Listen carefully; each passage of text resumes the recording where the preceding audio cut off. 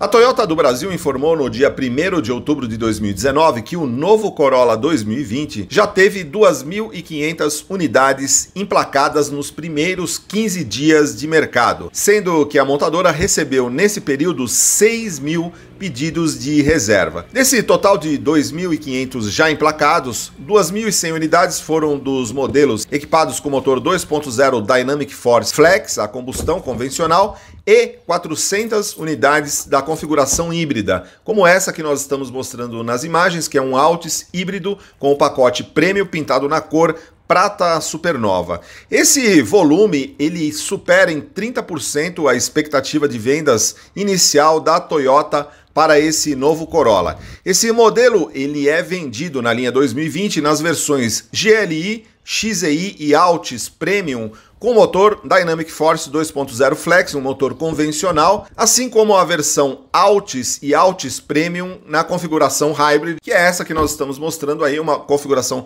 Altis com o pacote Premium. Esse novo Corolla teve 65% dos pedidos feitos para a versão 2.0. Então, daqueles 6 mil unidades, 65% foram da configuração com motor 2.0, com injeção direta e 177 cavalos com etanol e torque de 21,5. É a opção mais convencional. Essa versão 2.0, ela vem com uma nova transmissão CVT Direct Shift com 10 velocidades, sendo que a primeira marcha ela contém engrenagens, é diferente de um CVT convencional. Agora, a grande vedete dessa nova configuração realmente é o híbrido, que com 35% dos pedidos é um volume muito expressivo. Essa configuração vem com um propulsor híbrido flex 1.8 VVTi com 98 cavalos com gasolina e101 com etanol, torque de 14,5 e associado mais dois motores elétricos que somados têm uma potência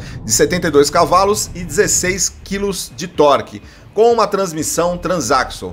Segundo testes da quatro rodas, essa configuração híbrida, que efetivamente é a melhor do modelo, acelera de 0 a 100 em 3,5 segundos com gasolina e o consumo é impressionante. Em São Paulo, a quatro rodas obteve 20 km por litro em ciclo urbano e 18,4 em cidade. Lembrando que aqui em Brasília nós obtivemos 16,5 km por litro de média com esse novo Corolla híbrido.